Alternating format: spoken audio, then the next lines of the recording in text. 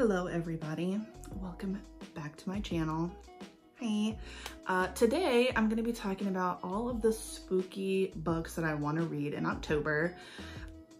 At first I was thinking, oh, this seems so ambitious when I actually put a list together of all the books that like I read or am currently reading and then want to read. But then I realized it's only like nine books, so it's really not that ambitious because I did read like about nine books last month.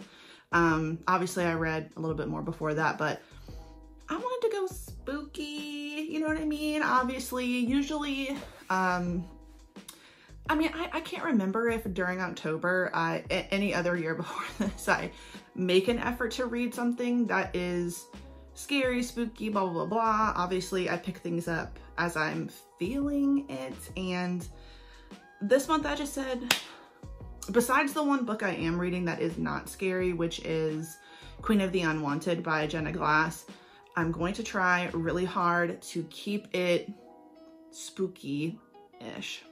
So here, there you have it. So the first book that I was interested in and that I already have finished is Blood on the Tracks by Shuzo Oshimi. This was really freaky um, I'll read I'll read one of the paragraphs on the back.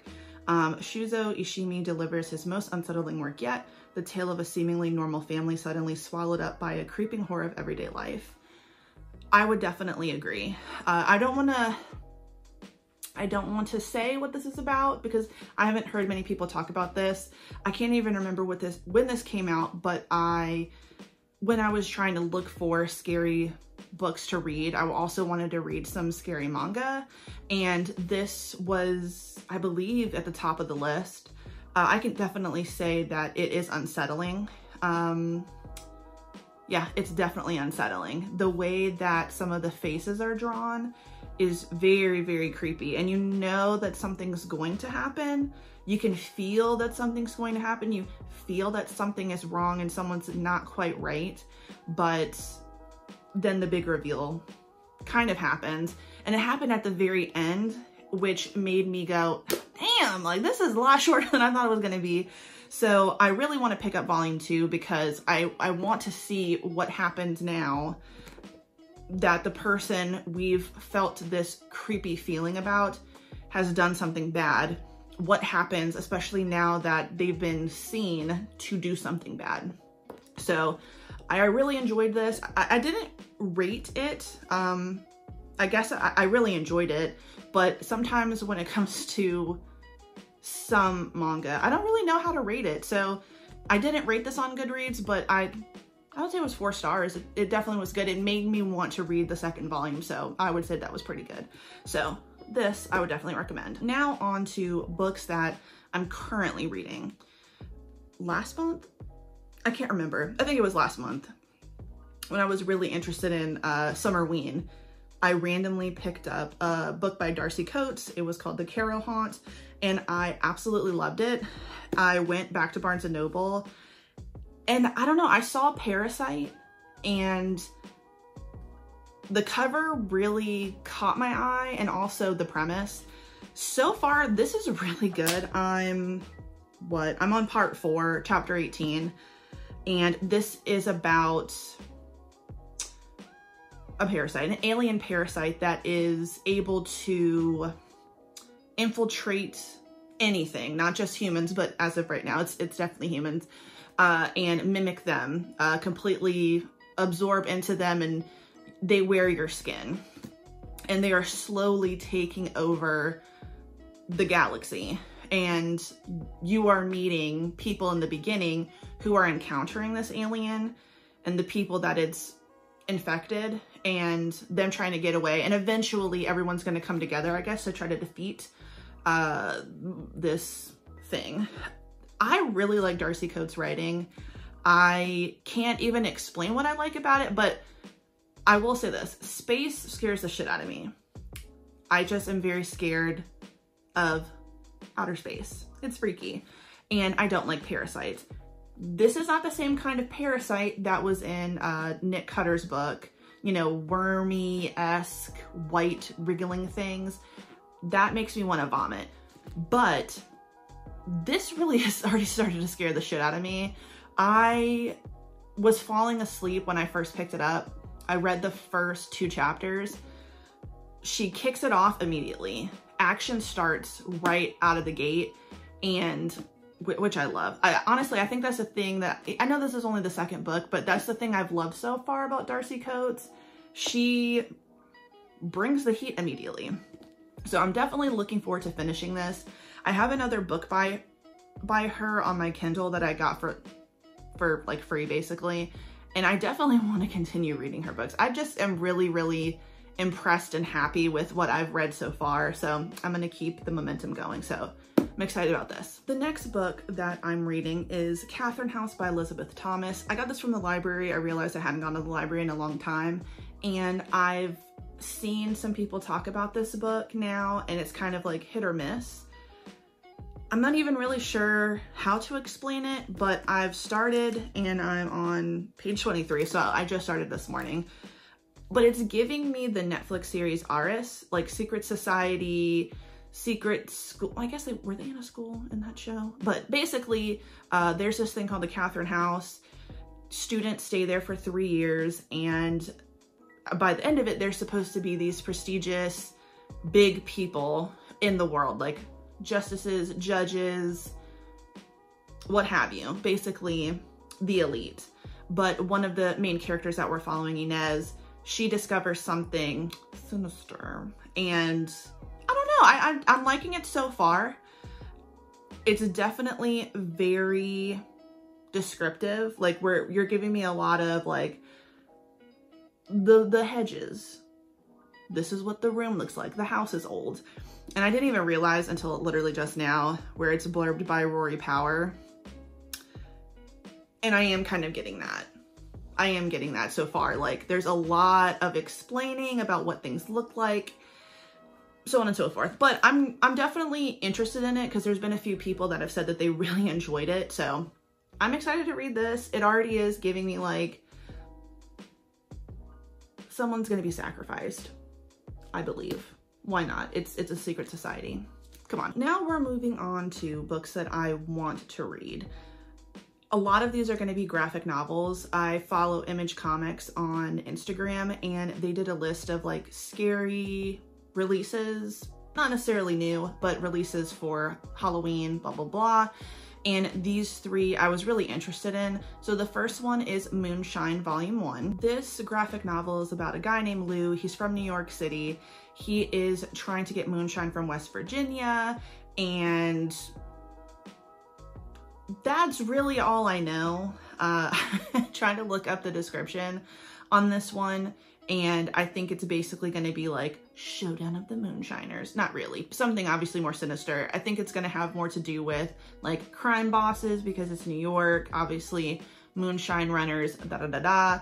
But I don't know. The cover looked really interesting. I don't know it was on the list. I'm not sure what else to say about it. So yeah. Next one that I'm going to read is Coffin Bound Volume 1 Happy Ashes. I'm just gonna go ahead and read what this one's about since I don't know what the fuck I was talking about when it came to Moonshiners, or Moonshine, not the show Moonshiners, Moonshine. All right. Uh, Izzy Tyburn has promised the world that if it won't have her in it, it'll have nothing of her at all. Chased by an unstoppable killer, she's retreating her life, leading leaving nothing behind but burned rubber, ash, and sun-scorched bones of those who get in her way, ride shotgun on an existential road trip through the tangle of a blood-splattered life, Mad Max Fury Road meets Neil Gaiman's Sandman in this full-throttle grindhouse fantasy epic. That sounds pretty good, right? I'd say so myself. Uh, the cover itself looked really interesting. I, I don't, I can't even really explain to you why I chose the ones I chose uh, from the list by Image Comics. Uh, I know one of the reasons is because a lot of these were free on the Hoopla app, so I'm reading all of this from my iPad, which I will read the graphic novels from, but that looks good as well. And the last one is Farmhand Volume 1, Reap What Was Sown. Technically, I have started reading this already, um, and, and it actually seems pretty good, so I'll read this one too. Jedediah Jenkins is a simple farmer, but his cash crop isn't corn or soy. He's gr he grows fast healing, highly customizable human organs. For years, Jed's organic transplants have brought healing to many, but deep in the soil of the Jenkins family farm, something sinister has taken root. Today, this dark seed will begin to sprout and the Jenkins family will be the first to taste its bitter fruit. So far, this one is really interesting. I thought it was just going to be a simple like zombie graphic novel, but it is more than that. Uh, so I'm enjoying it. I'm, I think I've read up to page 50 on the Hoopla app of the graphic novel. And it's really good and I love the art style too. But it is about a family uh, when the siblings, the brother and sister are really young, they think their father has gone away on business and it's late at night. They forgot to feed the animals. So they're out there and something attacks uh, the chickens. When they go to kind of clean everything up, the son digs into the ground and he sees that his father's buried there, but he's not dead. He is like the living dead. And something, his dad is like, you have to get away. Um, you can't be here. You shouldn't have seen this. This is all for the best. And then something sprouts out of the ground. And from there, we kind of like literally transition years later when the kids are adults now and you finally see what came out of the ground or what was going on with his father. Um, but it's not that simple. It's already starting to get really interesting. Like it's a little bit more than just, hey, we grow human organs, which is already freaky enough. Uh, but I'm absolutely enjoying it so far. The next book I want to read, and I've been wanting to read this for a while, was The Doll's House by MJ Alridge. Ar Arlidge. My apologies. This is book three in the detective Helen Grace thriller. Sorry. Uh, I've read the first two, Eeny Meeny and Pop Goes the Weasel, and I really, really enjoyed those.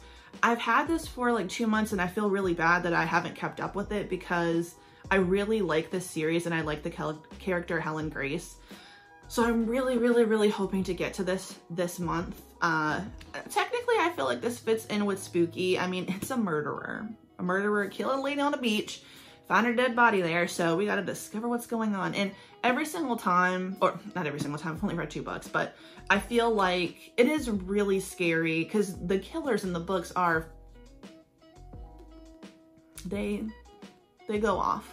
Let's just leave it at that but I definitely want to read this this month. The next book I want to get into this month is actually going to be something I listened to on an audiobook, and that's Below by Ryan Lockwood. This is another book that I looked up a random list online of like scary books, and this one is like monster, eh, well, yeah, it's a monster in the ocean. Another thing that also scares me, uh, I don't know if it scares anybody else, but just the fact that, where does it end? What lives down there? You know, we haven't seen everything that's at the bottom of the damn ocean, and that is scary. Also, you know, being crushed and drowning. Don't like that. Don't like that at all. But anyway, this is about a diver who's just who discovers like scary shit all the time, like sharks. Uh, but there's something worse coming and it's migrating up the coast of California and it's about to kill everybody. So I think that'll be a really interesting one to listen to. I mean, it's on the Hoopla app, so it's free. I have eight borrows this month, so get into it, right? And I'm interested. I'll definitely let you guys know. I'm having a good time listening to audiobooks right now. I also went back and listened to Alien Echo by Mira Grant. Uh, if I were going to give some recommendations, by the way, if you guys wanted to listen, read, whatever. Um, some scary books. And honestly, from my favorite author, Mira Grant, Alien Echo is a book I actually have already read. I own the physical copy, but I saw it for free on audiobook on the Hoopla app. And I love it all over again. It's another space alien book and it's really short. I would definitely recommend it. And I think that she did a really good job with the monster alien itself. It's definitely brutal. It's can be kind of disgusting, but not in a like body horror kind of way. It's more like, oh, that alien really fucked them up type situation. And then I would absolutely, absolutely 100% recommend you read Feed by Mira Grant. I love that entire series. Uh, another one that's on audiobook. So even though I've read it already, uh, I want to listen to it again just because I haven't reread the series in a long time. And I've been thinking how much I want to reread it. I'm not going to count it as a Goodreads. Same thing with Alien Echo. I've already read it, so just because I'm listening to it. It just kind of was really nice at the end of September to listen or read some things that I'd already, you know, give myself a little palate cleanser. Like, I didn't count the fact that I reread The Girl in 6E. I don't know why, but I just had this weird, like, desire to listen to, to read that again. And it was nice to revisit that, to that world. So yeah, uh, so lastly, a book that I originally said I wanted to read this month. I don't know if I will, but we'll see. And that book is Pet Sematary by Stephen King. I am pretty sure I've never read a Stephen King novel. I think my grandma bought me a Stephen King novel when I was younger. I can't really remember, but I've just never picked anything up by Stephen King. You know, I obviously hear the problematic stuff about him, so mm, that hasn't made me interested in reading it. really, um, I thought I wanted to read it, but when I saw it was over a thousand pages, I said, no, absolutely not. I'm gonna have to pass on that one. But everybody, everybody has said that Pet Sematary is really good. But I, I mean, it's a little over 300 pages. I guess that's not bad, but if I have time, I'm to try to read this book. I bought it this year. So we'll see. We'll see what happens. Um, I don't want to, I mean, I feel like I'm making it sound like it's just the worst possible thing I could read in my entire life. I really don't feel that way. I know I sound like I hate it here, but that's not the case. I just know that I've got a lot on my plate and I don't know if maybe this is going to be too much, too much, but we shall see. But anyway, that's it. That's the end of the spookiness that I want to read this month. I am pretty damn sure that I am going to read all of these, I think. Yeah, I, I, I, am. I am. I'm going to do it. I mean, the graphic novels are easy. I'll breeze right through those. The audiobook will be fine. I'm not halfway through with Parasite, but it's really hard for me to put this book down. So I think I'll finish it with by the end of the week. It's Saturday right now, so I, I don't see why I wouldn't have it finished by next Saturday. And Catherine House might, honestly, Catherine House might be the only one that I kind of am sluggish with. But we'll see. And who knows, I might end up just going ahead and buying volume two of Blood on the Tracks. Just if I'm feeling like, I just really want to get out of reading like a regular novel. But there you have it. That's the end of the video. So thank you so much for watching. If there's anything that you are reading or you're excited about, let me know. That'd be awesome. and uh, enjoy the spooky season. Goodbye. Bye.